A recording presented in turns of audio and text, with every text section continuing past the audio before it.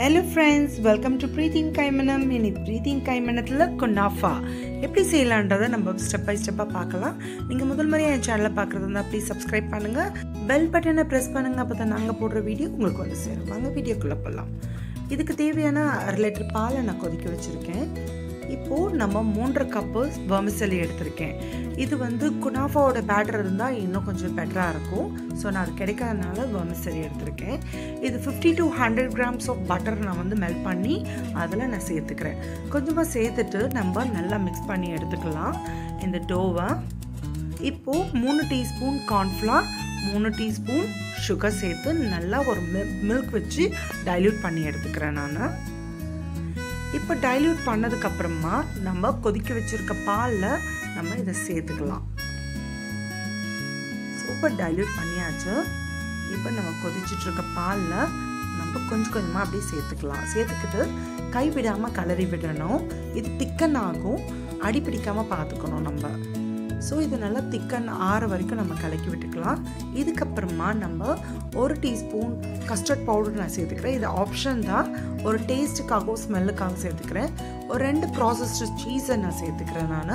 இது மிக்ஸ் ஆகிற கரையிட்டும் நம்ம ஸ்டவ் ஆஃப் பண்ணிடலாம். ஸோ இப்போ இது கரைஞ்சிருச்சு. ஸ்டவ் ஆஃப் பண்ணி வச்சாச்சு. ஸோ இப்போ நம்ம சுகர் சிரப்பு நம்ம சேர்த்துக்கலாம். ஒரு கப்பு தண்ணிக்கு அரை கப்பு சுகர் சேர்த்து நம்ம கொதிக்க விடலாம். இதுக்கு வாசனைக்காகவும் கலருக்காகவும் குங்குமப்பூ சேர்த்துக்கிறேன். இது கொதிச்சிட்ருக்கச்ச ஒரு lemon half a teaspoon lemon நான் விட்டுக்கிறேன். அதாவது கிறிஸ்டலைஸ் ஆகாமல் இருக்கிறதுக்காக ஆஃப் அ டீஸ்பூன் லெமன் சேர்த்துக்கிறேன். இது இப்போ கொதிக்கட்டும்.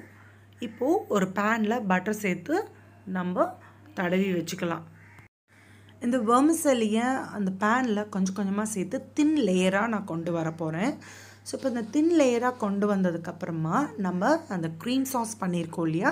அதை நம்ம இதை மேலே விட்டுக்கலாம். ஸோ இப்போது இப்போ க்ரீம் சாஸ் ரெடி ஆகிடுச்சு இல்லையா? அதை நம்ம கொஞ்சம் கொஞ்சமாக விட்டுக்கலாம். இது வந்து ஃபுல்லாக கவர் ஆகிற மாதிரி நம்ம விடலாம். இப்போது இதுக்கு மேலே இன்னொரு லேயர் அந்த வமிசலியை நம்ம போட்டுக்கலாம். இன்னும் ஒரு முறை சொல்கிறேன் குனாஃபோட பேட்டரை வச்சு செஞ்சால் இன்னும் பெட்டராக இருக்கும். ஸோ நான் இன்றைக்கி இந்த இந்த லேயரை கொஞ்சம் சரி பண்ணிக்கலாம்.